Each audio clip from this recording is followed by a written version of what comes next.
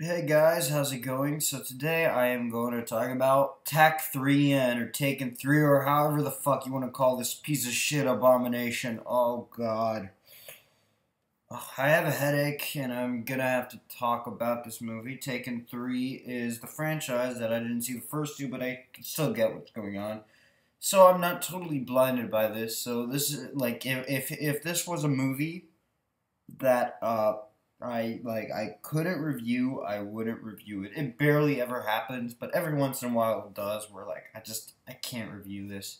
But you know what? I understood this movie. I understood how it was and I'll tell you why I saw it in a little bit. Uh it stars it's the franchise starring like I said, it's the franchise starring Liam Neeson who is he's Liam Neeson. Uh it's the one that made him an action star and still makes him an action star and uh yeah, uh and it also stars Famke Janssen, uh, Maggie Grace in the franchise, and uh, Forest Whitaker.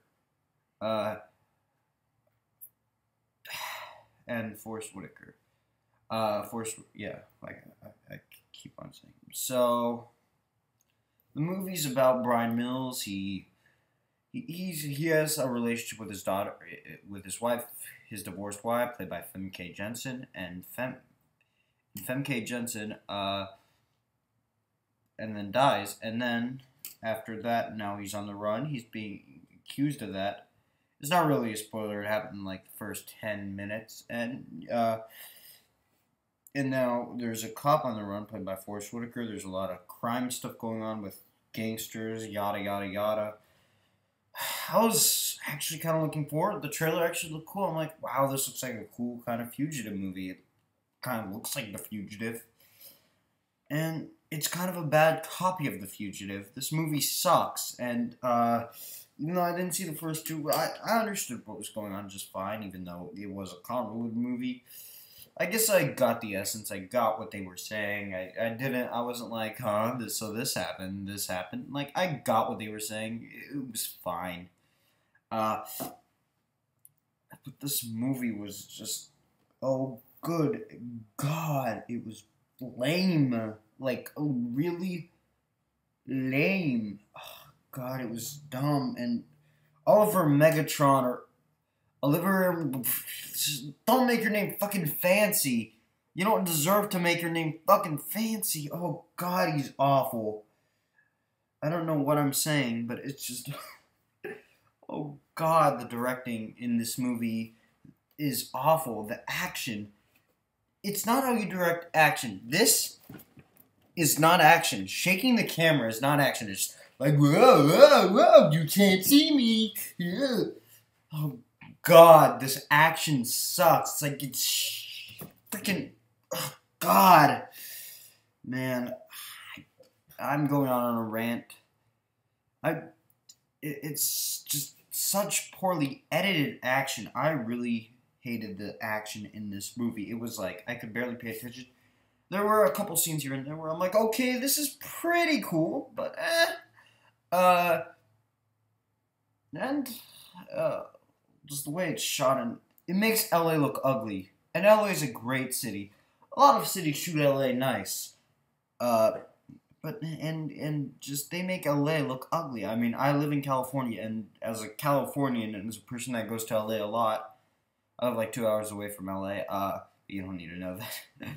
they make LA look such like an ugly movie, like like such an ugly stereotypical LA. There's there's a bunch of pop songs playing. I did see like the last scene of Taken Two on cable one time, and uh, it was on a pier, like the very last scene. This one's also on a pier. oh God.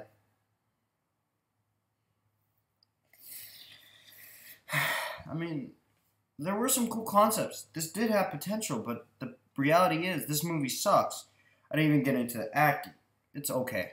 It's not horrible for the most part. The villains, the acting from them are awful. The cops, oh boy, with the exception of Forest Whitaker, who's okay, but he can play this role in his sleep. Liam Neeson's good as the action star. I still like seeing him in this role, and I I, I want to see that movie run all night. I think that movie looks awesome, but this one this movie looks hor. But this movie was horrible. So I still want to see him as an action star, even though I don't like this movie. I still like to see him as an action star. I thought Maggie Grace would annoy me a bit, but yeah, she was alright. Uh, and like I said, there were a few cool parts, but just the movie is just so dumb. Uh, and like so stupid, like the fugitive stuff. If you're gonna make a good fugitive movie, if you're gonna make a good good crime thriller action movie, like I understand it's an action movie, turn your popcorn off, but let's see great action movies.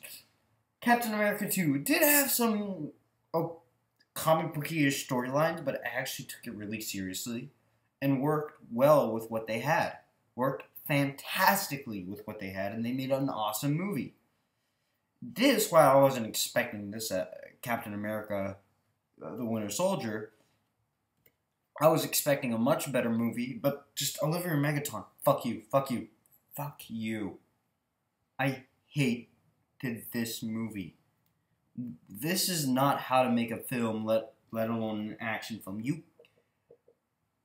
this action is horrible, and if you're gonna if you're gonna make a good crime thriller and even action-packed crime thriller, you need to have legitimately like yeah, you also need to have good acting. This movie has serviceable acting. Uh, you need to have actually good directing. You need to have it on the edge of your seat. You need to have all the loose strings tied together. You need to have good twists and turns, not not not stupid twists, villain twists, and villain turns. This is not how to make a movie. Like, this is a great film on not how to make a movie. It is a god awful movie, and probably the worst of this year so far.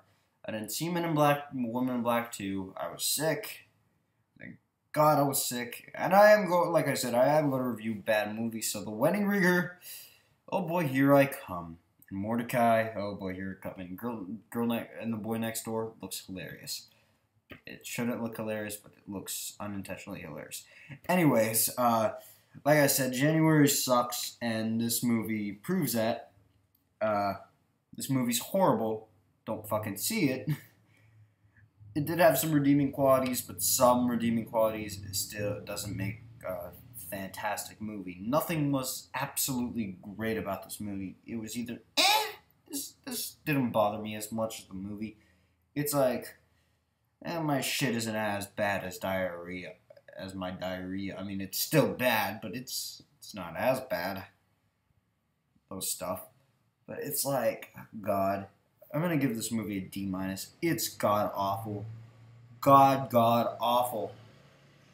There's even like laughing bad moments and like barely, but oh, God, don't watch this.